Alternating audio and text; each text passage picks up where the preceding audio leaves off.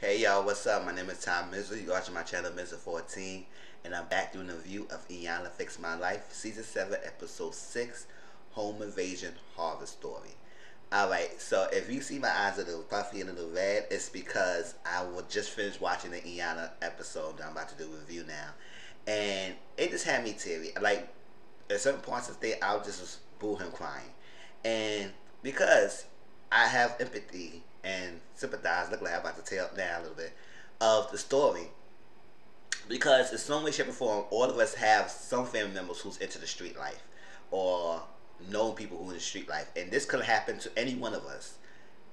So, and the fact that the family knew about this, and it just happened to the point, and the decisions that could possibly lead to this very horrible story is crazy. So I'm gonna explain the story and then I'm gonna explain my viewpoints and stuff like that. So we have Anne. Anne and Shatara and their mother Annette was at the show. The show. They came Anne wrote the show. She brought her mother, their mother, and her sister Shatara to the show. Anne was dating a drug dealer. I gotta put it out there. Ann was dating a drug dealer. So you know when you date a drug dealer, you deal with the negative and positive aspects of the lifestyle. Now, I say positive because people choose to deal with drug dealers because the money, the fast money. Because they deal drugs. A lot of people like to um, buy drugs, so they get the fast money. They get the cars, they get the house. They don't have to really worry about money. Even though it's not legal money per se, but still fast money. That's what I say the positive is because most people who deal drug dealers because they like the fast lifestyle. They like the protection. They like that the person, the bad boy type of thing or something like that. Sometimes it's it mimics the lifestyle they was growing up with. And I'll explain that in a minute. So she was dating a drug dealer. Also, people overlook the negative aspects of drug dealing. Drug dealing with someone who's doing drugs. It's this aspect of you being guilty by association. You guilty by association. When you get in trouble with the law, they will loop you with the drug dealer because you've been a known associate of the drug dealer. Now, as that, at the same time, you also is a product of targets for the enemy, the drug dealer enemies, if they need to raid your house or anything. And this this is exactly what happened you as a part of target if they know what the person lives at and they know who's the person drug dealer is like associated the family who they he loves or who they he or she loves they will target that person to hurt the person they um going after. So anybody is in it's not innocent. Anybody could get it. That's basically their life thing. So being a street life and drug dealer it's no morals. There's no morality. Stuff happens kids, aunties, cousins, grandma, grandpa, mom and dad, anybody's a target when people is coming after the person who is dealing drugs and they have bad blood with. And no matter what you do, that's the target. So that's why I say people who deal drug dealers, you gotta understand you gotta set both the ups and the downs of dealing with someone who's like that. Because in any moment you could be target. And not it's not necessarily meant for you. But since you a casualty in this war, that's exactly what happened. So the story, this Anne was dating a drug dealer, and her cousin, I think Sha uh, Shaquan, and her son or daughter Carla, she wanted to have a birthday party for her daughter. I think Shaquan, I think the name was Shaquan, the cousin, and her daughter Carla she wanted to have a birthday party at Ann House. She agreed to have a party at the Ann House. That was a big mistake because Ann House is a hot spot. People know in the neighborhood that she's dealing with a drug dealer. So the enemies would know to raid the house if, if they need to have any issues because I think the boyfriend was living with her at the time. So that was hot spot. And that was a big mistake in their part to even have it there. So they have a birthday party at the house. And children was not there. Now, if you have a kids party at your house, why are your own kids not there? That's part of the reason why her sister Shatara was upset, or at least her somewhat upset and angst with her sister Anne. Her kids wasn't there. Shantara bought bought her two kids. Tony is the son who was in this episode, and her daughter to the party. That.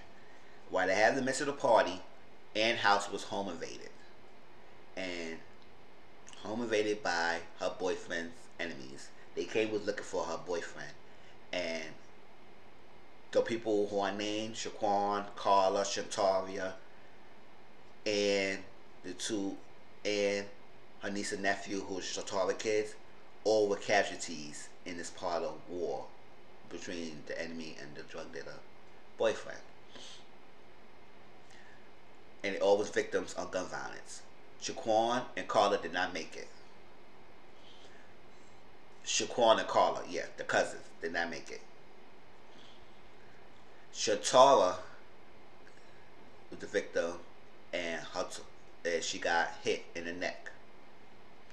Shatara's son Tony and her daughter both got hit in the head, and Tony is living with one eye. He got a prosthetic eye. He got living with one eye, and the daughter she's okay, but she lost part of her skull. So they both her daughters, no, both her kids, Shatara kids, is disability and got hit as well. So the cousins is dead. Shatara and them are living. They got maimed, and yours was not touched because they wasn't there. So for 14 years, this happened in 2006. We in 2020. We in 2020, 2020. So for 14 years, this happened. 14 years ago this happened. Tony was four years old at the time. He's 18 now. All this time happened, and there was no talking about it and stuff like that. Cause Shatara's ang- Shataria was angry. I guess part of Anne was guilt and stuff like that. So they never really asked the questions. They never really talked to each other, and they never really tried. Ann said she tried to talk to Shataria, her sister, but her sister was shutting her out. Don't want to deal with her and everything. Cause part is stuff stuff that I need to mention that as well. Now okay, it's more to story. So that all happened. Now, more revelations will reveal that and Shaquan and Carla was held hostage. Shaquan was shielding her daughter from what happened, and you know, they both died. And I guess Shataria was ringing the bell. And when that happened, I think Ann ran to the door something like that. I was running and would tell the Shatari to run, run, run, run. And run. Ran. Shataria ran. But she did not ran with her kids. She left the kids in the Porsche. Now I'll explain about that in a minute. Because I know most people say, oh, wow, why she did that? It's like that. It's easier said than done when you're in that split second knowing that that area is a hot spot, knowing something happened, all that stuff, and it's like your mind is in flight in flight or fight mode. And right there, when she heard the wind run, she just ran. So that's part of her decision. So part of her anger, guilt, and regret is that she did that. But she left her kids and she ran. But her kids still got harmed. She also got harmed as well. And um, that's that. So all years it was never been spoken about because each party, both, including their mother, I will get to their mother in a minute, had a part into this generation and how everything happened. So, and while it was telling the story, I was so I was like, wow, it was building up until later on the episode I started getting teary eyes, started crying a little bit more about the story and how they broke down, how Tony talked and all that stuff. It was a lot to go on because it was heavy. So the reason why I talk about the mom mom's part of it is that Anne revealed that her father, Shataria and Anne's father, was a drug dealer. So the mom knew because she said he was she was dating him. He was a construction worker, and at first he wasn't doing the drugs, and afterwards he started doing the drugs, but she knew about it but didn't tell her kids anything about it. And then on such, so she put her kids in harm's way because anytime, any moment, her house could have got raided. anything because she didn't want a husband who was drug dealing. She stayed even after he started dealing drugs. She stayed because of the comfortability of the lifestyle. Now she said she said she didn't have a good education, so she got her GED. Then she went to school for nursing, and she did correctional nursing to pay back all the people that something that her father, her husband, took away. So it's like a guilt that she dealt with another drug dealer, and then she ended up doing correctional nursing to be a payback, to give back to the community for something that her part, her husband could be a part of, from taking away people. She probably shooting, um, shooting people, probably getting at people, selling drugs too, stuff. So that's part of her, and and that aspect normalized the street life. So it became so normal that it was okay. This is this is what they was grew up in. This is the part of their environment. So, and she said she was good with her father, uh, her father, but her father was went to jail when she was 16, so she started stripping on the pole. Stripping, and then she said for nine years she started stripping, and then she started dating a drug dealer and everything. And also, even after that incident happened, she didn't stop. She didn't break up with the drug dealer. She's still with the person. I don't know. To now, she's still with him, but at that time, she was still with him. They didn't break up.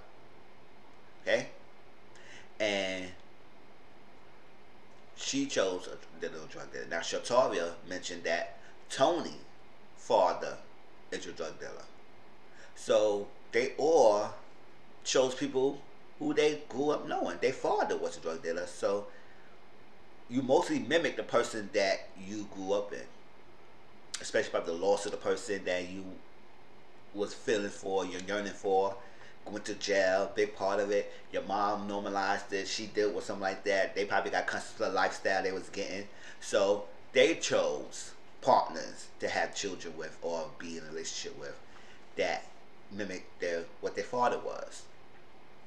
That's all their decision they made to know that even with because something didn't happen to Ann and Shataria when the father was a drug dealer, doesn't mean it couldn't happen to them at any given moment. Meaning that what happened with Ann House when it got evaded of that. That's to say you gotta accept the negatives a part of the lifestyle too. You just can't accept just the fast money. You gotta also accept the negative. And that's what was happened that they normalized it and they realized and they knew it's a possibility this could happen, but they didn't get they didn't stop anything from happening. Not to stop the whole invasion. I mean it happened happens, but to stop getting to the lifestyle. Why you couldn't choose somebody else? Why you couldn't break the cycle and different choose a different path or whatever. So I guess in that moment when all that stuff happened, Ann shut herself down, neck down, she shut it down. It's all in her head, and she never expressed her emotions. So I guess part of Shataria's angry towards Ann is that it's like she moved on. She didn't look back. She didn't even think about it. She not hurt by what happened. She don't feel sorry or guilty, even though Ann does feel all that. But she didn't exp- show it or express it in her emotions to let everybody know that she feels guilty, regret, shame, anger. That was the four parts that Ian was saying in the medicine wheel. It was anger, regret, shame, and guilt. And um, she was feeling, most of um, those things. And she angered herself to even choose that lifestyle that she was into. But that's part of the product that she was living in. So, um, when talked to Shataria, and we that's when we find out Shataria said when she and told her to van, she ran. And she left her kids in the porch. And that was one of her biggest regrets. So she regret. And also she said like if she die and she gone tomorrow, who will take care of her son? Because she had to take care of her son and Tony he had to take four medications every morning. Part of his one of the medications for seizures and stuff like that. And she talked about it and she didn't feel joy about it. Cause honestly, you don't feel joy. And she said she had a moment. She has up down moments that she doesn't feel happy about it, so like that. But it's his son. You put him first. But then the fact they don't have a joy about it, it's like something that is eating you up inside. And part of it, she revealed that. And also part of her revelations is that she knew her sister house was a hot spot. But she still decided to take her kids to the party. So sometimes it's a decision we make that has caused all of this.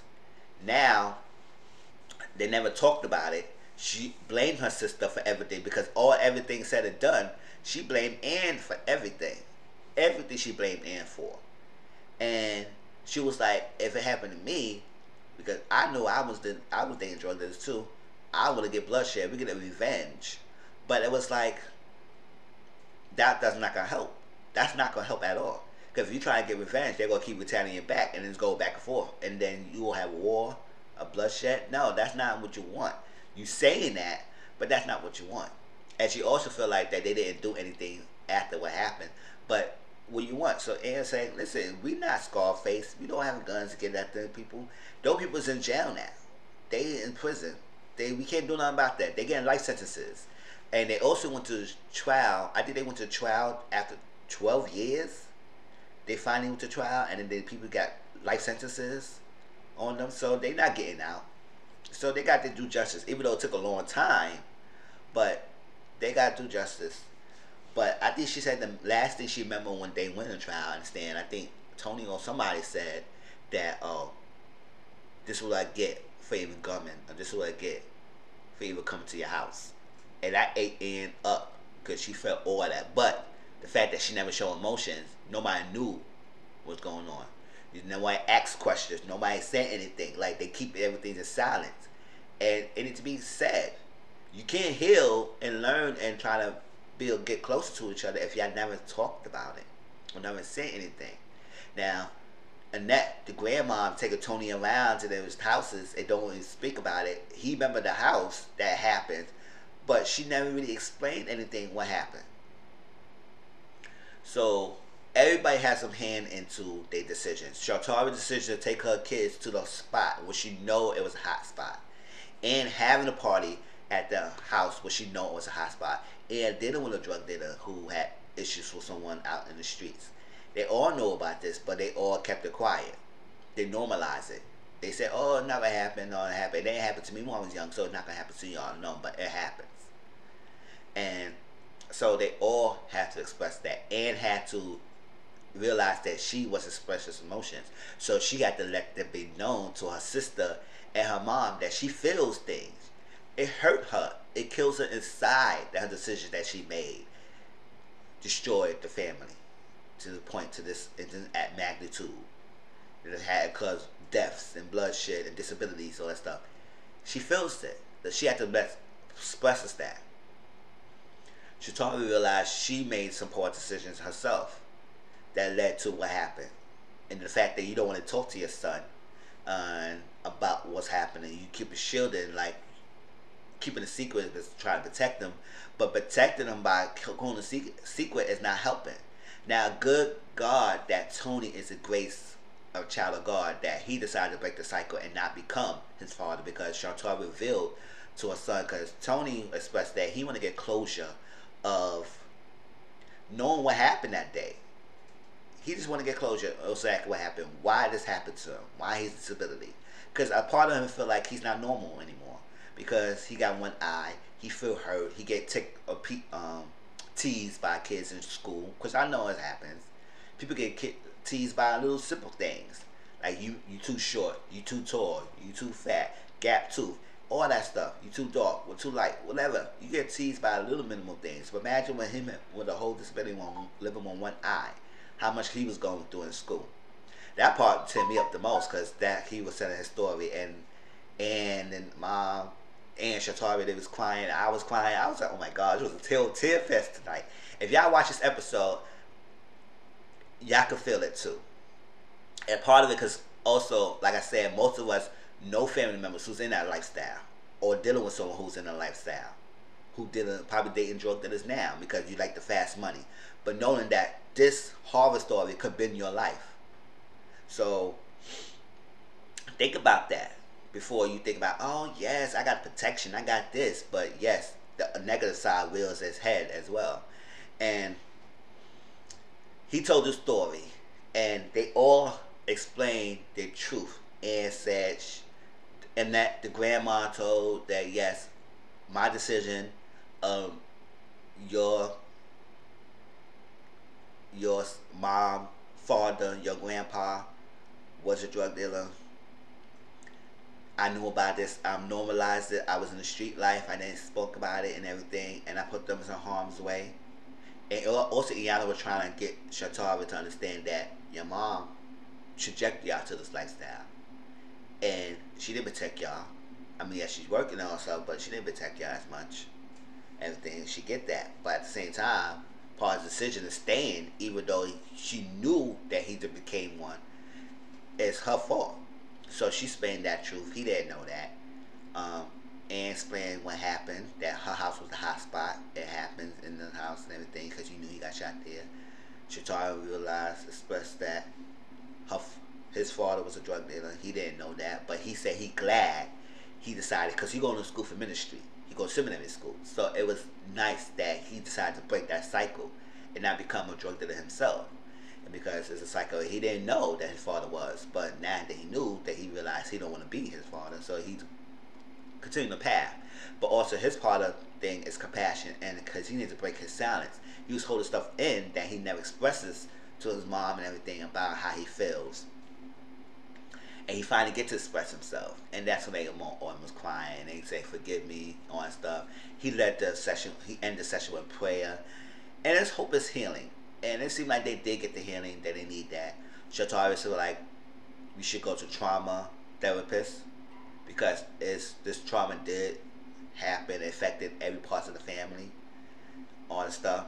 And even even the, what's Quan, that cousin or stuff like that, she mentioned that maybe it was a bad mistake to even have the party here. Maybe when they got hostage, she mentioned that, and that's the last thing she heard from my cousin before she passed. She died on stuff that it wasn't a good thing to happen here, and they all had their peace. They hug it out and stuff. And at the end, the sisters are closer now. They're all very close, and they continue to build up their uh, relationship Tony is I think he's seeing a therapist and also he's working on living his lifestyle. And and Iyanla told him, can you look up Sammy Davis Jr. and stuff like that? He said he don't know who that is. So he said, well, look him up because he lived with one eye. I think that's the name. Don't get me wrong because I didn't focus on the name, but she gave him somebody to look up. And good. And that was that. That was a This was a good episode. Episode like this it's really good. It's it's very rare that I really cry. So when I get episodes like this that make me tear up, it it shows that I feel for them, and I just hope that they can heal and move forward, and which seems like they are because it's getting closer and they can move past it. So that was Iyanla to fix my life, y'all. Please like, comment, subscribe to my channel. Tell me how y'all feel about this. Tell me if y'all know someone, y'all have similar stories. Go in the comment section. I would love to read, read stories and hear things about this. So. Talk to y'all later, right? Peace.